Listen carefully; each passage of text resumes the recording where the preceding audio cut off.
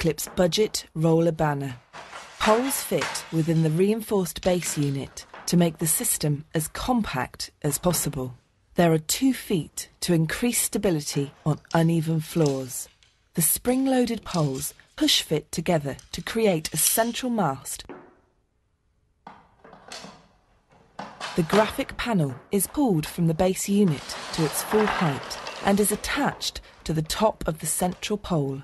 You can tilt the banner backwards to reach the top of the pole if necessary.